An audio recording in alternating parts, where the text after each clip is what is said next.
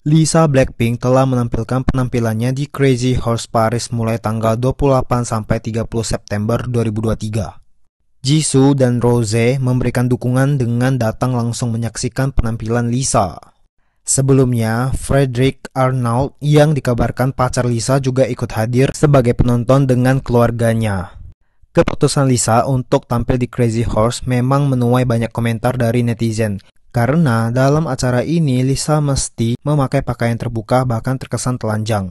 Sutradara dari Crazy Horse menceritakan alasan Lisa untuk tampil di acara tersebut. Lisa adalah penggemar Crazy Horse dan dia datang beberapa kali dan sering ke belakang panggung untuk menemui para penari. Gimana guys menurut kalian?